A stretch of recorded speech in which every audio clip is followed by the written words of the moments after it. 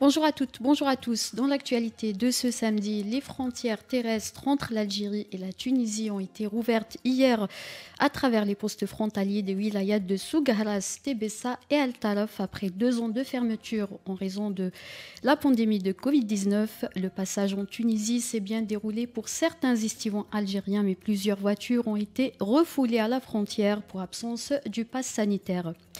Les résultats de l'examen du baccalauréat seront annoncés ce samedi à partir de 16h. Les résultats seront consultables gratuitement via SMS de des trois opérateurs mobiles Mobilis, Jay-Z et Oredo en composant étoile 567 dièse et sur les différentes plateformes web de l'Office national des examens et concours. Les résultats seront également disponibles pour les candidats scolarisés sur le site web des parents d'élèves. Rappelons que plus de 700 000 candidats ont passé les épreuves du baccalauréat cette année. L'Algérie a décidé d'augmenter le volume de ses livraisons de gaz à l'Italie à partir de la semaine prochaine.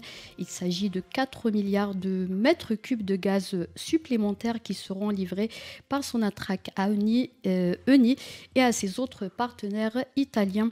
Rappelons que le volume de gaz livré à l'Italie depuis le début de l'année a dépassé de 113% les volumes prévisionnels.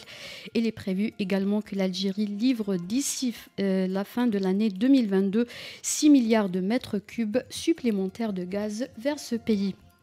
Les avions israéliens peuvent désormais survoler le territoire euh, saoudien.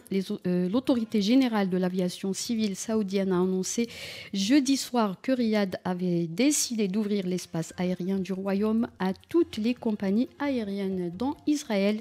Ce geste intervient avec la tournée du président américain Joe Biden au Moyen-Orient.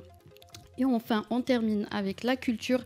L'écrivain algérien Yasmine Khadala sera en tournée dans, trois euh, wilayas à partir de ce samedi jusqu'au 19 juillet pour la promotion de son nouveau roman Les Vertueux. Il sera ce samedi au théâtre régional d'Oran à 17h, le lundi 18 juillet à la Bibliothèque nationale d'El Hamad Alger à 16h et le mardi 19 juillet à la Maison de la Culture de la wilaya de Tizi Ouzou à 14h. C'était la dernière information. Merci de nous avoir suivis.